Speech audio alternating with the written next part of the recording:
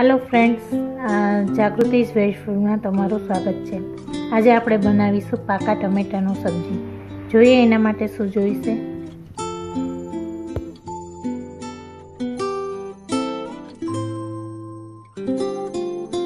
પાકા ટમેટા લીધેલા છે. પછી ખાંડ ચાટ મસાલો, ગરમ મસાલો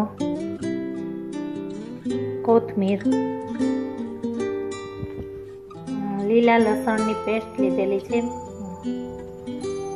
મેં એમાં મરચું ને મીઠું એડ કરેલું છે. પછી ખડા મસાલા, મરચું, તજ, લવિંગ ને હિંગ, ધાણા જીરું, મરચું, જીરું, હળદર, તેલ ને મીઠું.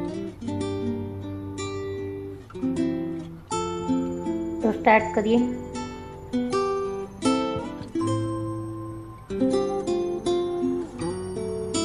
સૌપ્રથમ આપણે સ્ટવ સ્ટાર્ટ કરીશું. ત્યાર પછી તેમાં બે ચમચા જેટલું ઓઇલ લઈશું. તેમાં ખડા મસાલા એડ કરીશું આપણે. મરચું, તજપત્ર તજ અને તજ હવે તેમાં રાઈ એડ કરીશું જીરું રાઈ અને જીરું સતળાય એટલે એમાં એક ચમચી જેટલી હિંગ એડ કરીશું આપણે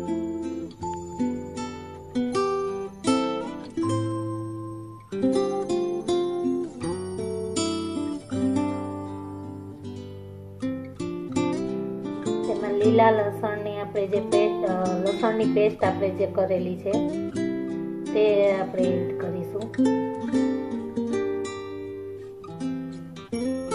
લસણની પેસ્ટ સતળાઈ જાય, ત્યારબાદ આપણે એમાં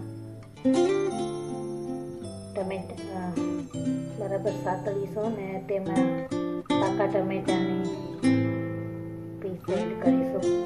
નાની સાઈઝના ટમેટા લીધેલા છે. જેને હાફ કટ કરેલા છે. એને બરાબર મિક્સ કરી લઈશું.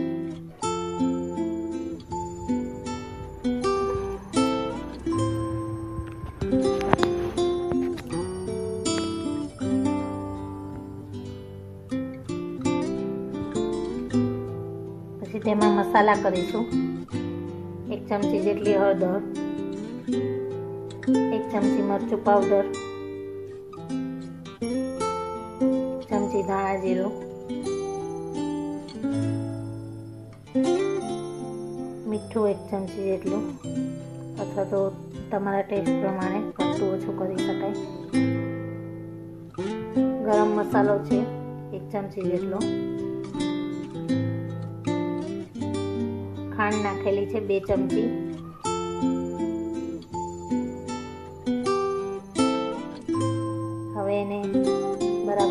કરી લઈશું આપણે. થોડી વાર એમ જ સતળાવા દઈશું.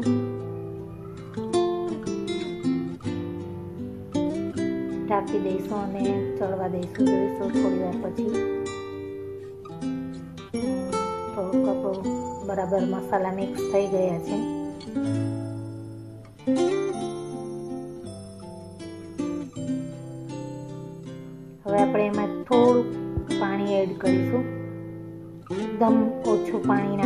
છે. થોડુંક ટમેટા સહેજ વ્યવસ્થિત સફાય એટલા પૂરતું.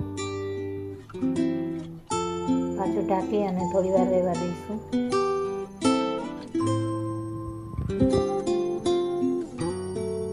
થોડી વાર પછી આપણે પાછું ચેક કરીશું. હવે જોઈ લઈએ. હવે જોઈ લઈએ, થઈ ગયું છે કે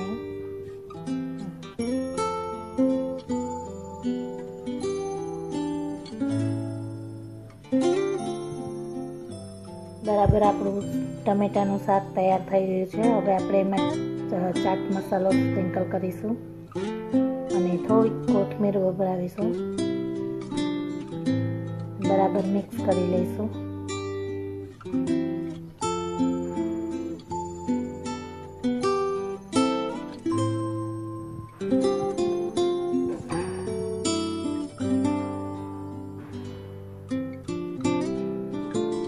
તો તૈયાર છે આપણું ટમેટાનું શાક. હવે આપણે એને સર્વિંગ બાઉલમાં સર્વ કરીશું.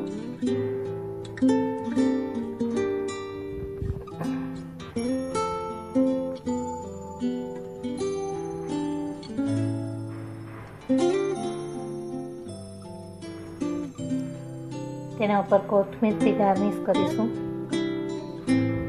તો તૈયાર છે ટમેટાનું શાક. બનાવો. ને તમારા અનુભવો મને જાગૃતિ સ્વેચ ફૂડમાં શેર કરો. અગર તમને મારી રેસીપી પસંદ આવે, તો એને લાઈક કરો સબસ્ક્રાઈબ મારી ચેનલને સબસ્ક્રાઈબ કરો અને વિડીયોઝને શેર કરો. Thank you.